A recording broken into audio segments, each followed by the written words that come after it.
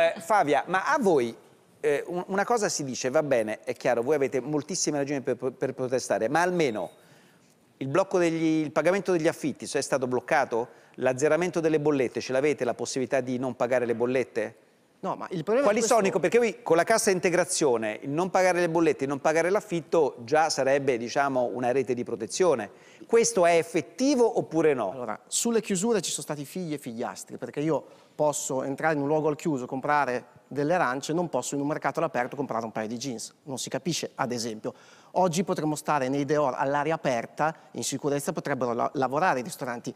Ma delle due l'una, se punisci noi per fermare un po' il movimento, come di fatto ha detto Crisanti, perché non ci sono focolai nelle mense aziendali o negli autogrill, se vuoi punire noi per fermare la movida, allora ci devi permettere di non fallire.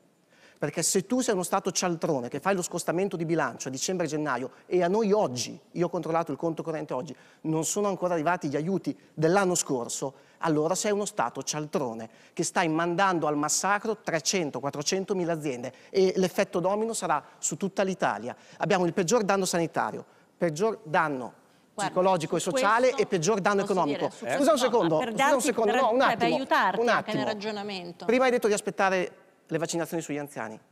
Qui non avete capito che non c'è più tempo. Noi il 12 torniamo in piazza, il 13 siamo di nuovo in piazza e se noi siamo stati pr pronti a prenderci da 1 a 6 anni di carcere col blocco in autostrada e se delle, dei padri di famiglia, delle donne sono andate a fronteggiarsi con la polizia che era in grosso imbarazzo, tra parentesi, vuol dire che non abbiamo più niente da perdere. E bisogna fare attenzione perché prima o poi il palazzo si trova gandianamente circondato, perché noi non abbiamo più niente da perdere. Allora,